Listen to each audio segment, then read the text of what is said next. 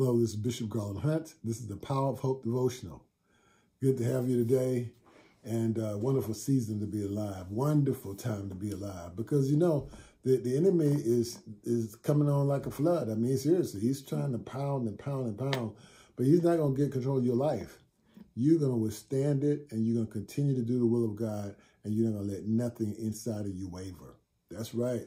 Because if you weary and well doing, you will reap if you faint not. In due season, I should say. So listen this. You, if you weary, be not weary in well doing, for in due season you shall reap if you faint not. So don't you stop. Don't you stop what you know to do. The state of the church is a lot of people are stopping. And they're, they're, they're, they, they, the scripture talks about how they were, um, you know, they, they're soul winning church. We got to win souls. You got to win souls. The, the scripture says in Proverbs chapter 11, verse 30, it says, he that winneth souls is wise. He that winneth souls. Well, when was the last time you led somebody to the Lord? I mean, just honestly, tell the truth. Just shame the devil. Tell the truth. When's the last time you won anybody to the Lord? I mean, you just literally did the salvation's prayer. You brought them to the Lord, and they came into the Lord, and they've been living for the Lord since then. How many people? That What do you think? What? How long has it been? I'm assuming that you have before, but how long has it been? So it goes beyond that. And then if you go over to John chapter 4, and Jesus says, my nourishment comes from doing the will of God. Well, we knew that.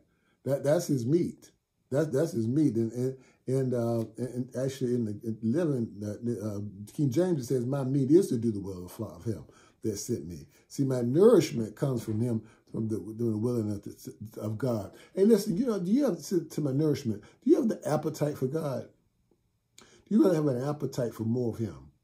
Because what I'm finding is that people may not even have an appetite. I think I want to pour out my heart. I want a discipleship, discipleship, more training, all these things. But, but the real question is, do they even have a heart for it? Do you even have a heart for more of God?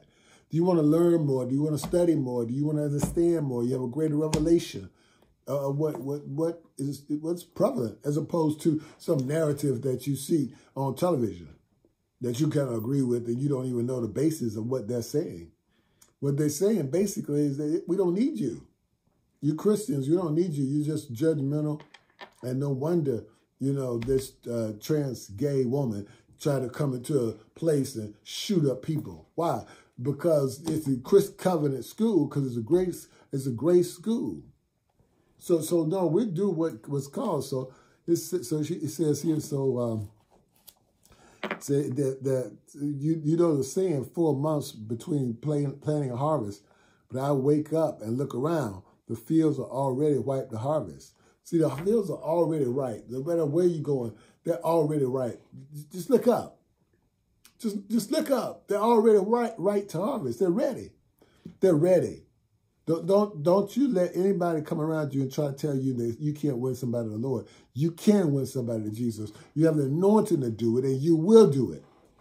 You will do it. And then it goes on first, the harvesters will pay good wages, and the fruit they harvest is people to eternal life. Well, they, they, they got good wages, and they still are harvesting people, which is eternal life. And then it goes on further and says, um, what joy awaits the planter and the harvester. See, one plants, one harvest. So some of what you harvest is not some of your work. You saying that one plants, another harvest. And it's true. I sent you to harvest where you did not even plant. He'll send you with places that you did not even plant, but you harvest just the same. You harvest just the same. See, see, God is so incredible that he's setting this thing up right one to another. and you don't have to give in. You don't have to give into the culture. You stop it. You say, I'm standing by the word of God. And part of what I'm supposed to do is to save the lost. That's it. Part of that's what I'm doing. And just like I said, the joy uh, jump upon me for the planter and the harvester alike.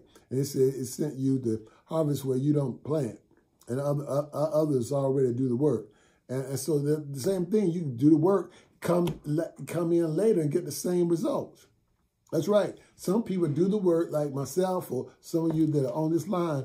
You do the work in God publicly, but you don't you don't stay around for uh, for the for the uh, blessing. You got to do both. You got to do both. You have to do both.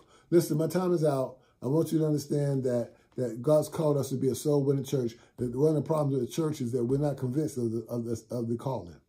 You're not convinced of the calling. Because if you were, your testimony would be sure. And if you were, you'd be telling people about the love of Jesus. This is Bishop Garland Hunt, Powerful Devotional. I'll talk to you later.